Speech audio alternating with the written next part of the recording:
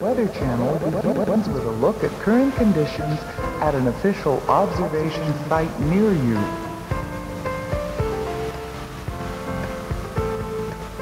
These are prevailing weather conditions as reported in cities and towns around your local area.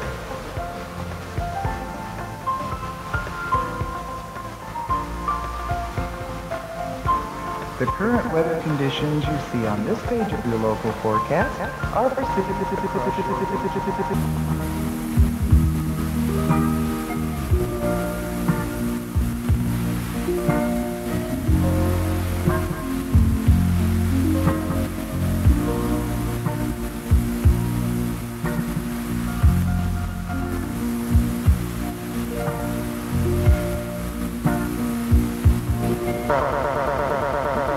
the conditions you see here.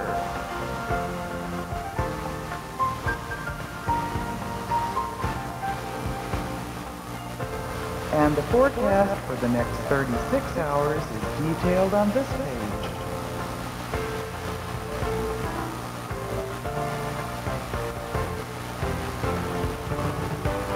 The special weather information